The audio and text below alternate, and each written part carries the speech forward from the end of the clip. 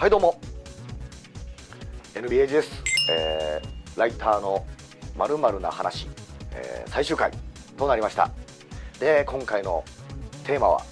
えー、ライターになりたい人。まあ我々みたいなその攻略ライターなりなんなりに、えー、なりたい人へのメッセージの話。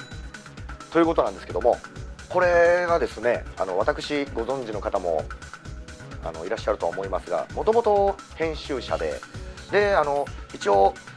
あの 編集長までさせていただきましてでライターに転向したんでそのライターになりたいんですがっていうのがすごい自分とこやたら来るんですね。そういうあのブログなりツイッターなりその連載してるコラムなりへのその感想やら、えそういう直接そのホールで会った方にあのそうやってなりたいんですけどどうすればいいんですかねって。まあそういうだから編集もやってたし、まあ、編集長までやってたし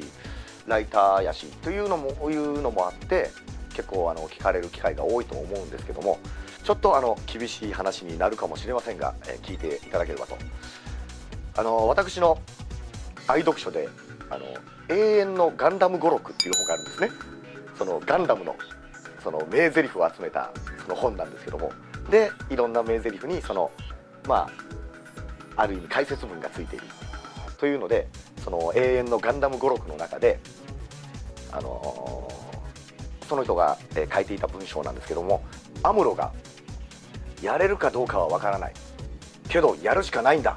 っていうセリフがあるんですね。そのまあ、アムロが果敢にシャアが操るザクに挑んでいってなんとかしのいだんだけど帰ってきたらブラ